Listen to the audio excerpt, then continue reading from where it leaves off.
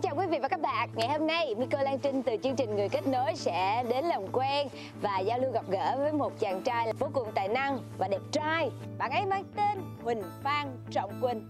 Nào, mình cùng đi làm quen với trai đẹp đi. Yeah. Sở hữu ngoại hình bắt mắt, giọng ca ngọt ngào và khả năng diễn xuất đa dạng. Chàng trai sinh năm 91 đến từ phố núi Gia Lai, Huỳnh Phan Trọng Quỳnh đang là gương mặt mới, nhận được nhiều sự quan tâm của các bạn khán giả trẻ.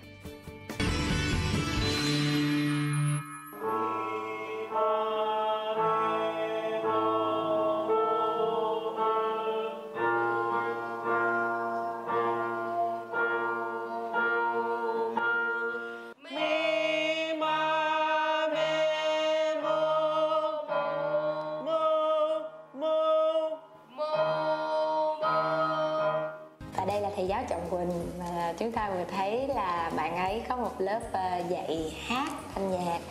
à, vậy thì ờ, khi ở Gia Lai thì đam mê nhưng mà đến Sài Gòn thì những cái bước cụ thể nào hoặc là có một ừ, có người cụ thể nào đã giúp đỡ để cho cho Quỳnh làm những công việc này không hay là tự thân mình tìm đến tất cả những cái cơ hội đấy? Cũng ảo tưởng sức mạnh lắm cứ nghĩ á, mình ghê mình có thể làm được tất cả. Nhưng mà thực sự thì những cái mình đạt được là nhờ rất là nhiều vào những sự giúp đỡ của những người lớn những người đi trước và những người bạn bè. Thế à, hồi trước Quỳnh đam mê lĩnh vực này, lĩnh vực nghệ thuật thì gia đình, à, ba và mẹ của Quỳnh có ủng hộ không? không những ba mẹ này mà còn cô chú dì bác rồi mọi người đều rất là ủng hộ. Chị có khuyên như thế này là à, con đường này á thì thấy à, nó rất là nhiều cái cạm bẫy. Đó mọi người cứ nói là con chỉ cần biết là giữ mình sống tốt đạo đức. Thế thì bây giờ giữ được mình không? Đó, chị cái tay thả đứng liền. Ừ. Hồi nãy giờ á, hỏi rồi nghe Quỳnh chia sẻ rồi nhưng mà Miko hy vọng là Quỳnh cho phép để Miko có thể đi theo. Nguyên một ngày luôn. ok vậy thì à, cô cùng với à, mọi người cùng đi theo quỳnh ngày hôm nay nhé. Đi đến đâu đầu tiên nè? quỳnh sẽ chạy qua nhà của bạn gái quỳnh. Đây bạn bạn gái. Chạy qua đó. À, cô ấy, cô ấy tên gì? ừ, à, Nguyễn Lê Thảo Vi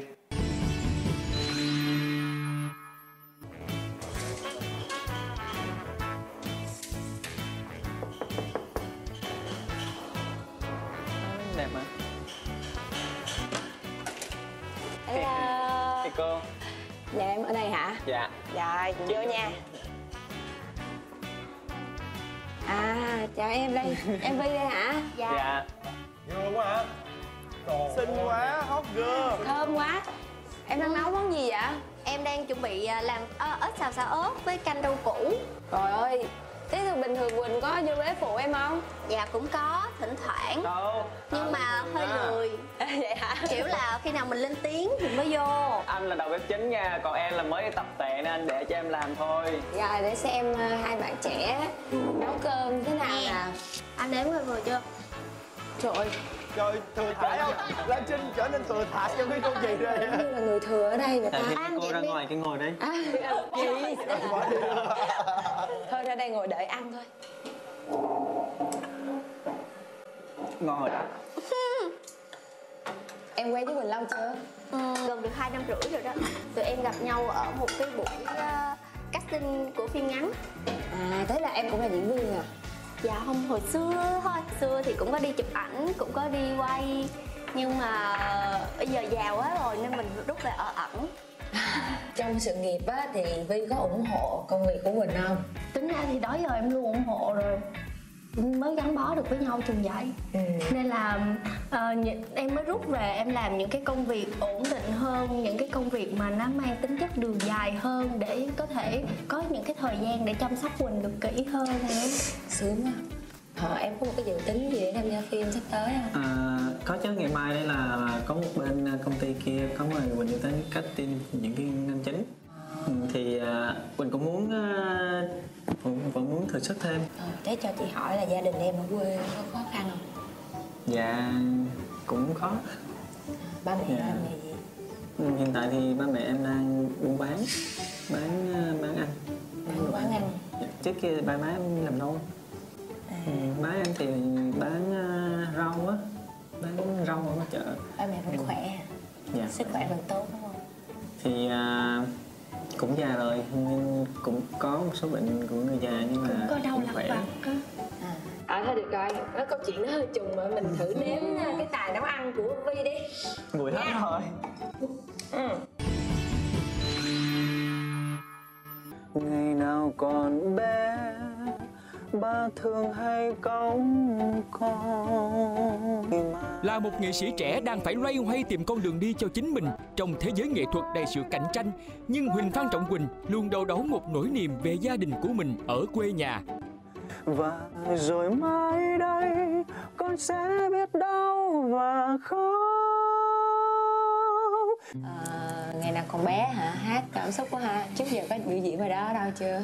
À, bài này hả? Thì, thì bài này là ca khúc của nhạc sĩ à, Văn Thiên Hạnh à, một ca khúc Quỳnh đã từng hát demo để cho gửi cho ca sĩ Hoài Lâm hát ừ.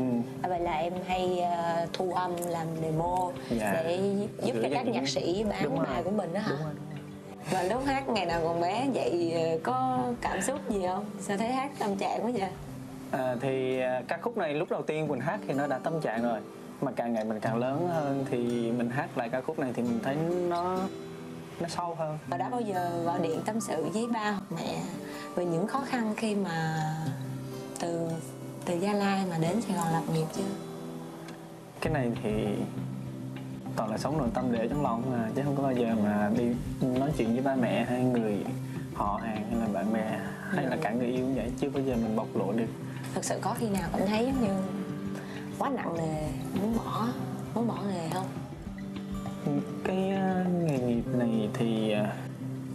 đây là một cái đam mê. Nếu như buông bỏ thì đã bỏ từ lâu rồi. Tại vì rất là khó khăn. Thực sự là khó khăn kinh khủng. Khi gặp chuyện buồn nhất có nhớ nhà không?